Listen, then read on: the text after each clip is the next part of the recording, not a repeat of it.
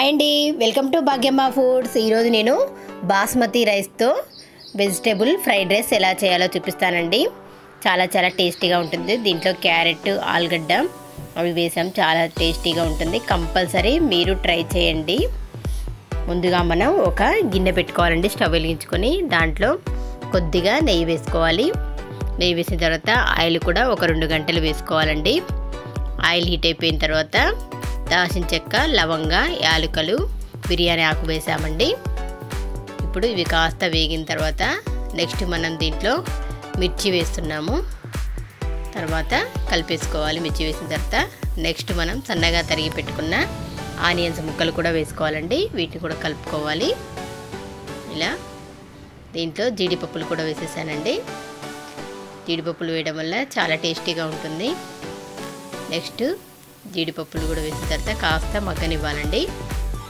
ఇలా మగ్గిన తర్వాత దీంట్లో క్యారెట్ ముక్కలు కూడా సన్నగా తరిగినవి వేసుకోవాలండి. ఇలా వేసిన తర్వాత అంతా కలిపేసుకోవాలి. క్యారెట్ కొంత పచ్చివాసన రాకుండా కాస్త వేగిన తర్వాత దీంట్లో ఆలుగడ్డ ముక్కలు కూడా వేసామండి. ఆలుగడ్డ మనం కోసినప్పుడు అవి కలర్ చేంజ్ అయిపోతాయి కదండి. కలర్ చేంజ్ అవ్వకుండా ఉండాలంటే దాన్ని వాటర్లో వేయాలండి కోసి. తర్వాత దీంట్లో వేసేసుకోవాలి. ఓకే అండి. నెక్స్ట్ మనం పుదీనా ఆకులు కూడా వేసుకోవాలి. పుదీనా కూడా చాలా మంచి ఫ్లేవర్ వస్తుందని ఎక్కువగా వేశాను నెక్స్ట్ మనం కొత్తిమీర వేసుకున్నాం. తర్వాత సన్నగా తరిగిన టమాటా ముక్కలు కూడా వేసేసి కలిపేసామండి. తర్వాత మనం అల్లం వెల్లుల్లి పేస్ట్ వేసుకోవాలి. దీన్ని కాస్త కలిపేసి దీంట్లో మనం గరం మసాలా వేసాము కొద్దిగా. దీన్ని కూడా అంతా కలుపుకోవాలి. ఇలా కలిపేసిన తర్వాత దీంట్లో కొద్దిగా నేను దీంట్లో చిల్లీ చికెన్ మసాలా కూడా వేసేసిన తర్వాత దీన్ని కాస్త మగ్గనివ్వాలండి. ఇలా మూత పెట్టేసి కాసేపు మగ్గిన మగ్గనివ్వాలి ఇలా. ఓకే అండి మగ్గిపోయిన తర్వాత దీంట్లో మనం ఎసర పోస్తున్నామండి బాస్మతి రైస్ కాబట్టి ఆ రైస్ని బట్టి మనం వాటర్ పోసుకోవాలి. నెక్స్ట్ దీంట్లో మనం సాల్ట్ కూడా వేసాము రుచికి సరిపడా సాల్ట్ వేసిన తర్వాత అంతా ఇలా కలుపుకొని ఒకసారి ఉప్పు సరిపోయిందో లేదో చెక్ చేసుకోవాలి సరిపోతే మళ్ళీ వేసుకోవాలి. ఓకే అండి మూత పెట్టి మరగనివ్వాలి. చూసారు కదా ఎసర వచ్చేసింది. ఇప్పుడు దీంట్లో మనం ఆల్రెడీ బాస్మతి రైస్ను కడిగి పెట్టేశానండి. అది దీంట్లో వేసుకోవాలి. మరి ముందుగా కడిగి పెట్టకూడదండి.